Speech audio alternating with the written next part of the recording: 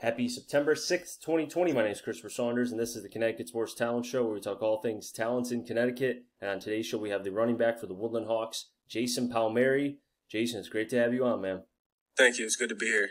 You know, Jason, I think, you know, usually I like to ask about the players, how they started playing their sport, if it's football, baseball, basketball, etc. But I think we're under a certain time right now, or we are in a certain time where news broke a couple days ago about high school football not happening at least again, potentially not for 2020 and not for 2021. I know there's protests happening today at West Hartford at Blueback Square. I know Wednesday there's a protest happening down at the Capitol building in Hartford. But, you know, this is about you, man. Just kind of, you have the floor. Just tell me about how are you feeling emotionally, the team, everything. All right. So, really, when the news got broke to us, we were all in school. So um, one minute I was I was in school, I was learning and I was doing my thing, but then the next minute I was looking at my phone and I see on Twitter and uh, I see fall season is canceled for football and then everyone's texting in our group chat saying, "Oh my God, is it actually canceled?" So I end up calling um, Coach Maffo and he he says, "Yeah, it's that's it's been officially canceled." And then uh, I just thought that that was wrong to do of the CIAC and the health department break into us like that. I mean, if anything, I, I would have hoped that the coaches would have broke it to us before anybody, not to find out in school, because we were all heartbroken in school, really. Now, with you finding out in school, because I know some schools started off this past week. I know in Waterbury, they start this coming week, and I know it's kind of I don't know if there's any right way to break the news as far as at the time, but I will admit to you, I think you're right the fact that they waited so long and they dragged you guys through the mud for months. It, I almost feel like they knew all along that there wasn't going to be football. But then why give you guys so much hope? You know, why put you guys through all of the workouts, all of the, oh, here's the carrot. Here's the carrot. You might yeah. play football. You know what I mean? And then they just, what, how many times? Two, three times they took it away? I just don't think Yeah. Right. It was ridiculous. Really, throughout the whole summer, we no one even knew really if it was going to be a season or not. We we all were told just practice like there's going to be a season, act like there's going to be a season, and then we'll see what happens. And then once we keep going on and we hear nothing that the season's still going on, we all we all think that oh this we're going we're finally going to have a season, so it's going to be a shortened schedule or whatever, but still going to have a season, and then just they finally break it to us after months of just dragging us through it. How was the mental side for you and the rest of the team because, as we alluded to earlier, the back and forth of football, no football, football, no football, uh, practice. Oh no, you can't practice. You can only do cohorts of ten. You can only weightlift, etc. How how was it? Because I know the mental side is something I've really been talking about a lot. Because I know with the back and forth and being told one thing and then being basically depressed for another, I know how much it can really affect the you know the brain and the mindset. So really, I I thought our team actually adapted pretty well to the um, to the circumstances that we had to be under. So really, we had cohorts of ten, like you said, and for a while it took a little getting used to. I mean, we couldn't even see each other in practice. We had to have our mask on the whole time, and then we couldn't even do the normal things that we've been used to be doing. But after a week or so, I mean, I thought our team handled it pretty well, and we were we were acting like there's going to be a season. We were acting like, like, let's do this, let's get through this, and then we'll eventually be able to practice normal. We'll eventually have a season. And I thought that we, we were mentally pushing ourselves to, we were mentally pushing ourselves to prepare for a season. And I just thought that once they broke it to us, it just, it really just tore us apart.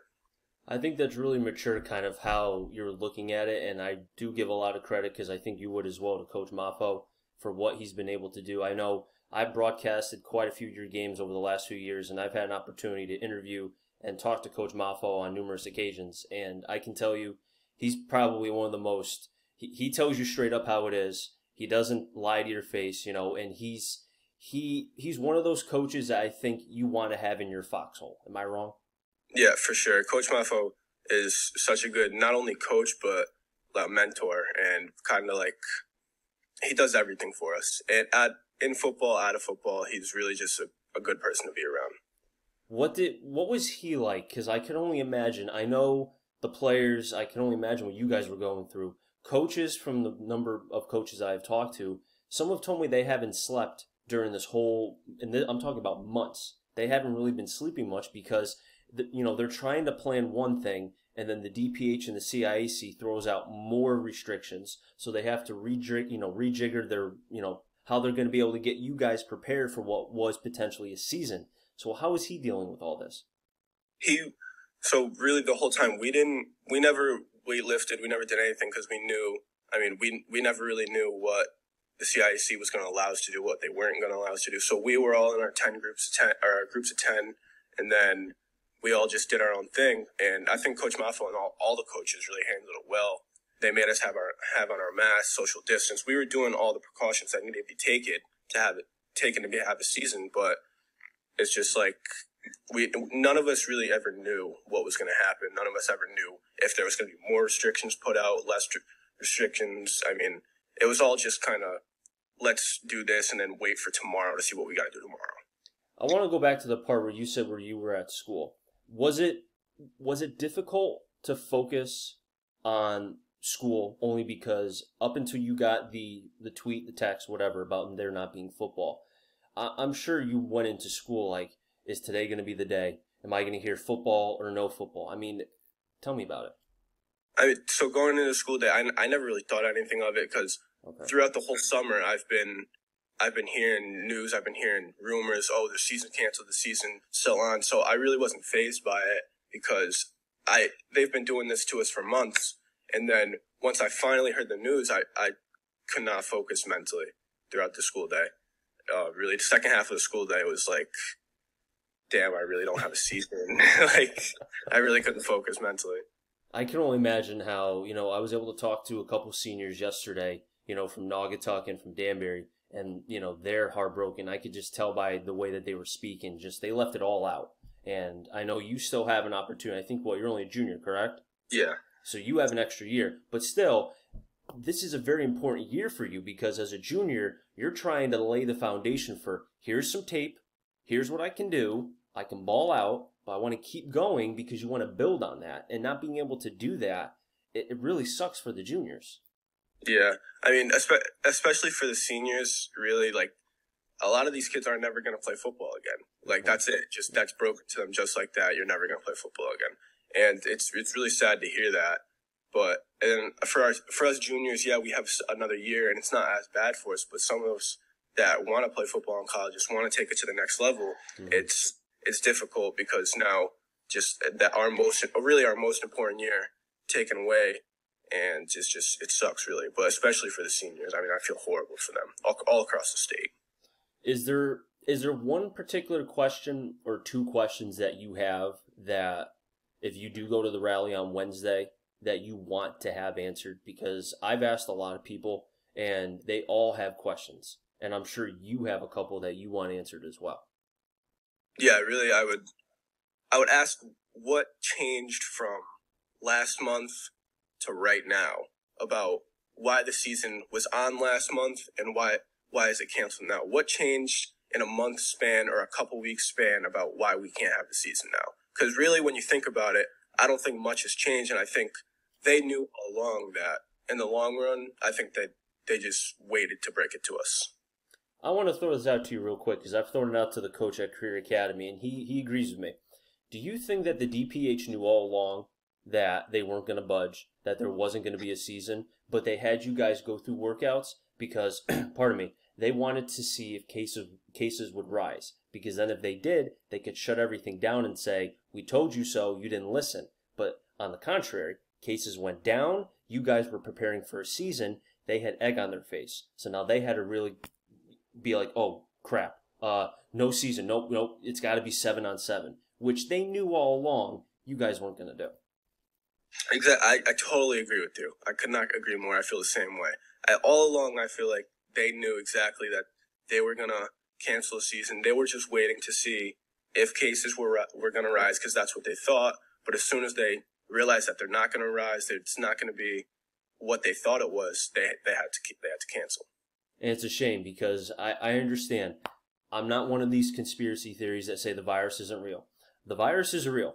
I've seen it, I've witnessed it. Trust me, I know it's real. But at the same time, if they're so concerned about the health aspect of everybody involved, they should have taken into account the mental aspect because there needs to be because what people have gone through since this virus came about at least at first in March and then up until now has been terrible.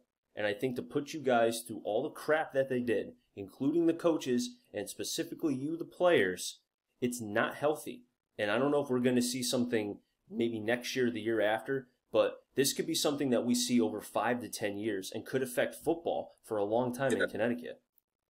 Yeah, I mean no one no one knows the long term really of what's going to happen to even winter sports with basketball. Basketball right now isn't looking good. Even spring sports, and then and no one even knows to next year. I mean, I I don't even think they know what's going to happen next week. like they, I I have a feeling like the Department of Health and the CIAC, I I don't even think they know what's going to happen really with anything. Like I I know that they just canceled football, but they'd probably, if I had to guess, they don't have a plan for any other fall sports either. No, because uh, you know my girlfriend's a teacher in Waterbury. She thinks she, you know, and I agree with her. She's going to be back within a month. So what happens when all the schools close because there's cases, which there will be, and then everything's online? Are there still going to be sports? They really haven't talked about that. Yeah. You know, it's it's strange, and eh, again, you know, great point about the winter and spring sports. This virus is not going to get better eh, when it goes into the winter because you have cold season, you have the flu season people are going to get sick because it's getting cold out. But then there's going to be that confusion. Is it COVID? Is it not COVID? There's going to be this hypersensitivity to it, you know? Yeah. And it's, eh, I, I don't know, man. And I feel terrible because you had basketball teams like Woodland who are trying to build off of what they had, I thought, very successful season last year. And they have some pieces. You have Naugatuck. You know, there's a lot of other teams. And if they miss another season, then the spring season, this will be their second season. If I know it's a lot of ifs, but geez, they, if, if they're going to have it, I feel like they need to give an answer soon. You know, because yeah. they can't. They can't do what they did. What they did to us. They can't do that again. Two yes. seasons in a row. No, it's just they mentally. No one would be able to. No one would be able to bear that. No, because I don't know if they can withstand having all those coaches from the winter and spring because you have football coaches, rightly so, defending you guys. But if you have winter and springs coaches trying to do that, there could be a battle, a big one. Yeah. You know? But Jason, we've just about run out of time, but I really do appreciate you coming on. You know, hopefully, you know, if you do go to the rally on Wednesday, just remember, wear a mask, social distancing, peaceful protest. You know, I've seen people yeah. I've seen people tweeting. I saw Lungarini tweeted out about I guess people are tweeting at the DPH and yeah, kind of, yeah, that's that's not right. That is never yeah, totally. you should never do that. But there's one thing to be peaceful about it and express your emotions, but do it in the correct way. But like I said, if you go Wednesday, just wear a mask, peaceful protesting, and hey, leave your emotions out there. I'm sure everybody else will, man. Thank you. Thank you for having me. No problem. I'll wrap things up in the Connecticut Sports Talent Show. So until next time, stay safe. Remember, CT stands for Connecticut Talent. I'm on a journey to find them all. Have a good one, everybody, and be well.